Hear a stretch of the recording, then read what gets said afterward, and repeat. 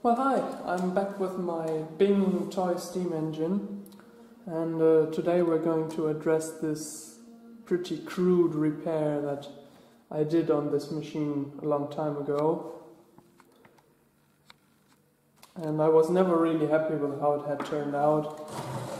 You know, the um, especially the soldering down here, there's just a huge crack all the way around. Um, which I had to fill up that way because I didn't have the methods and means to uh, create such a cap.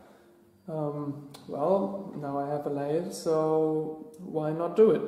Especially since I found this, which would be the original sight glass to come on this machine. So, um, let's go ahead and start disassembling this thing.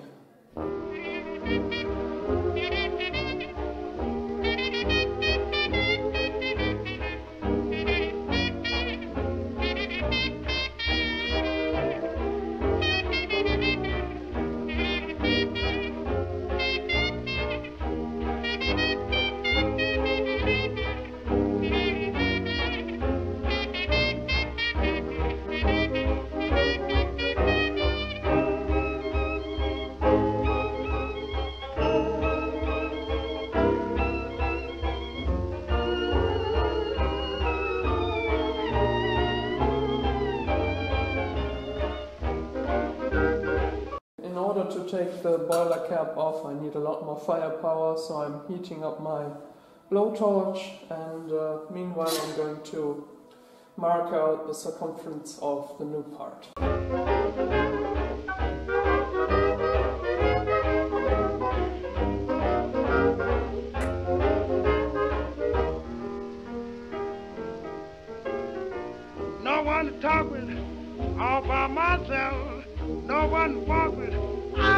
On babe. Ain't misbehaving, saving my love.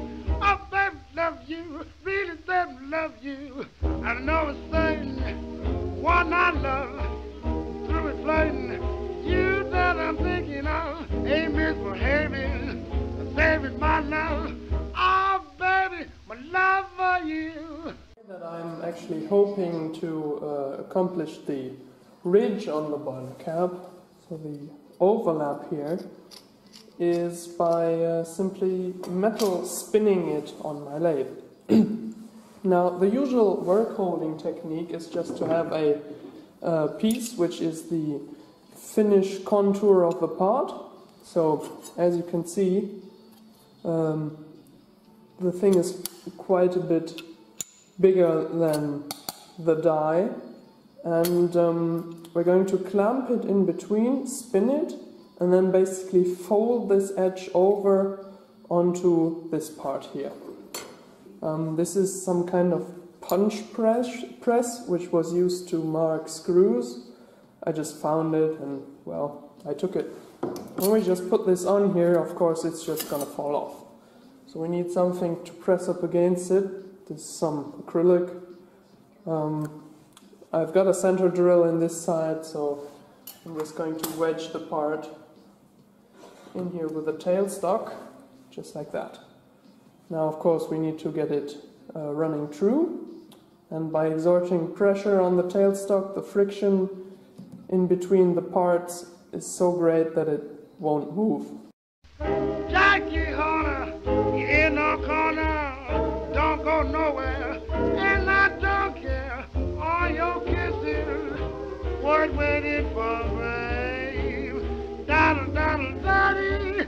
see outlay. Well, I am hoping to achieve good results with just a piece of hardened steel. You know, it's pretty polished, so it's smooth and won't tend to cut the material. I have no experience in metal spinning whatsoever, so let's just give it a try.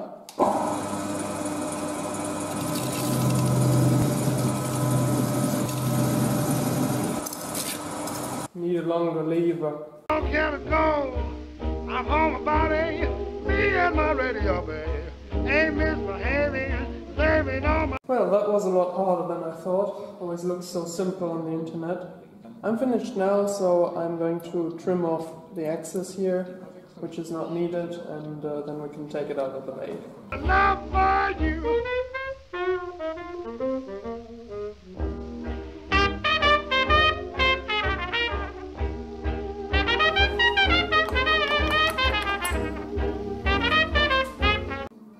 Go, one new made boiler cap.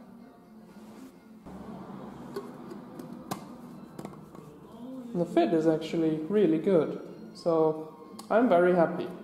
We can now drill the holes in here to mount the sight glass.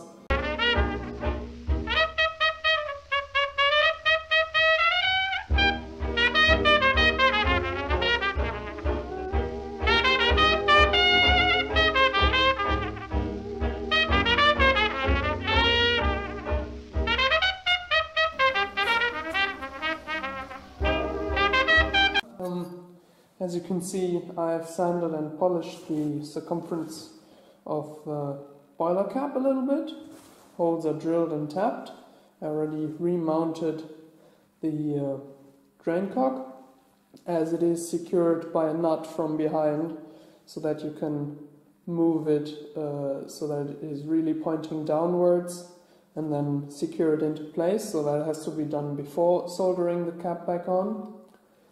So, um, of course, I also sanded the circumference where the two pieces are going to meet. And, well, take a good look inside. It's going to be a long time until that's open for public again.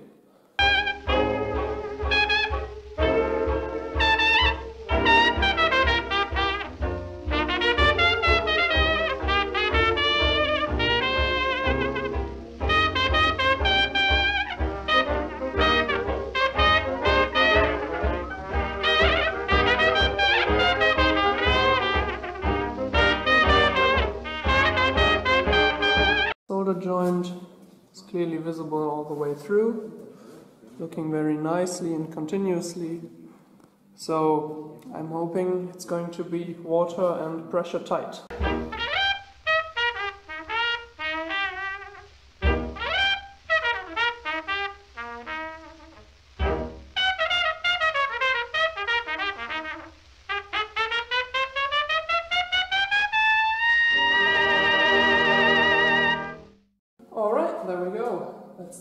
Finished. Of course, the boiler cap is shining quite a bit more than the rest of the boiler, but I guess a couple of heats and that should blend itself in.